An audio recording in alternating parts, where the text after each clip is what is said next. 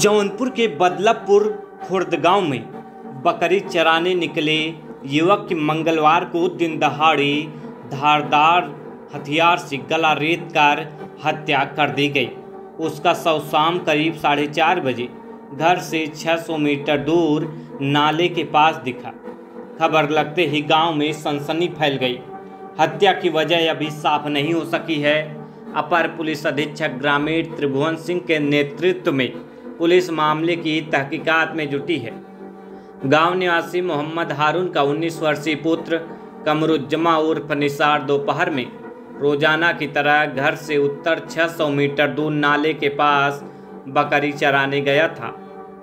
शाम करीब साढ़े चार बजे नाले के ऊपर आम के पेड़ के नीचे शौच करने गए कुछ ग्रामीणों की नज़र निसार के खून से लथपथ शव पर पड़ी। उनके शोर मचाने पर सैकड़ों की संख्या में ग्रामीण जुट गए।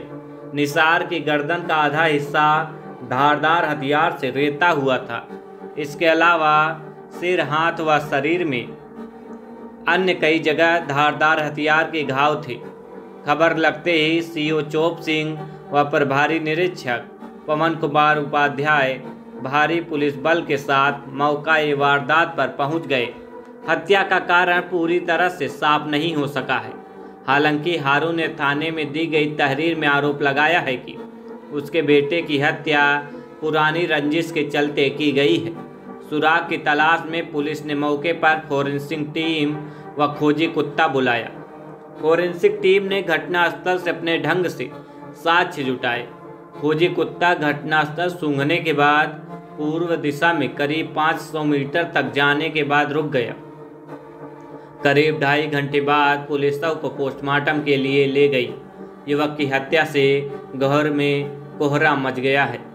कारण को लेकर क्षेत्र में तरह तरह के कयास लगाए जा रहे हैं।